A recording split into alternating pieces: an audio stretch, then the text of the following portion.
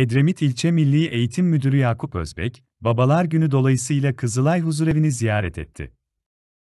Edremit İlçe Milli Eğitim Müdürü Yakup Özbek, Babalar Günü vesilesiyle Edremit Kızılay Huzurevi'ni ziyaret etti. Huzurevi sakinleriyle sohbet eden İlçe Milli Eğitim Müdürü Yakup Özbe öğretmenlerimizi temsilen sendika başkanlarımız eşlik etti. İlçe Milli Eğitim Müdürü Yakup Özbek, huzurevi sakinleriyle birebir ilgilenirken kendilerine, geçmiş ve gelecek arasındaki en kuvvetli bağımız olan siz değerli büyüklerimize sevgi ve saygılarımla, notuyla birer hediye takdim etti.